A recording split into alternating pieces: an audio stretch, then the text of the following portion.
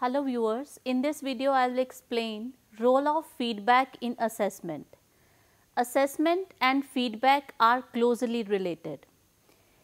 The purpose of feedback is to improve the performance of the student and improve the quality of the work submitted by the student.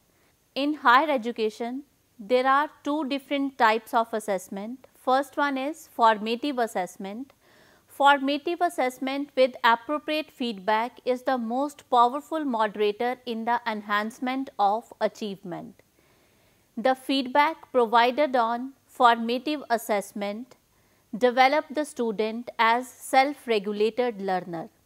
They can regulate their thinking, behavior as well as motivation. The feedback on formative assessment can be provided in terms of written comments.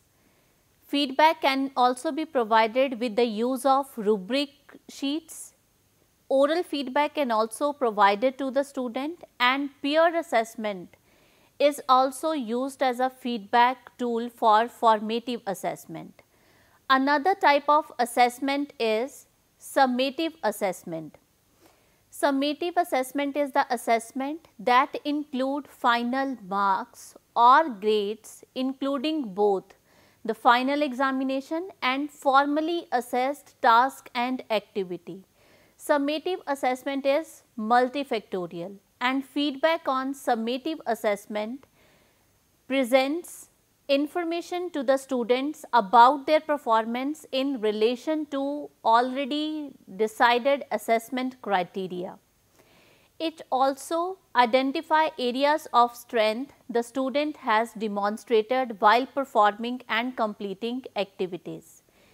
It also identify areas in which the student need to develop and it also help to direct the student how to progress. Whenever the feedback is provided on formative and summative assessment, the reflection on assessment is compulsory. Reflection on assessment by the teacher help the teacher to decide the effectiveness and appropriateness of the feedback provided by them to the student and also help to reshape the teaching the teacher can decide what type of instructional method and strategy will work best for this subject.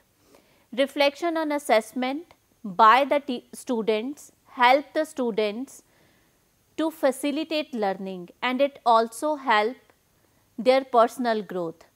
Obtaining and providing feedback with the help of formative and summative assessment help the teacher to decide by which mode the teacher can present feedback to the student whether with the help of oral mode of feedback, whether with the help of written comments or non-verbal communication for the performance based activity.